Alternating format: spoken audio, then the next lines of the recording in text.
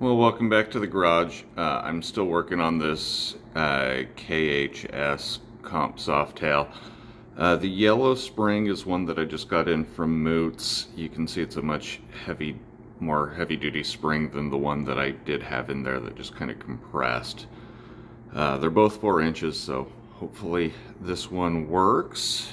Um, I've kind of rigged up the bike uh, with a uh, car jack so that I could spread um, out the little rear shock deal. Uh, that just makes it so that I, I don't have to be pulling it apart while I'm trying to screw in the cap. So we're going to try and get this together.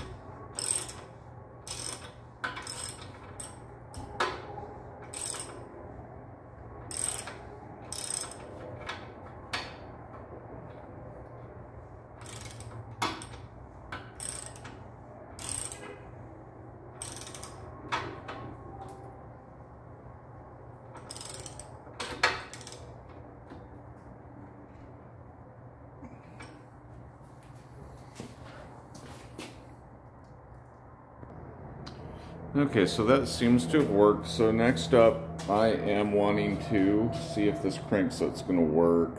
Um, I'm not sure what uh, what bottom bracket's supposed to go in there. This is the race face bottom bracket, so I'm to see if I can uh, fit this bottom bracket with these cranks.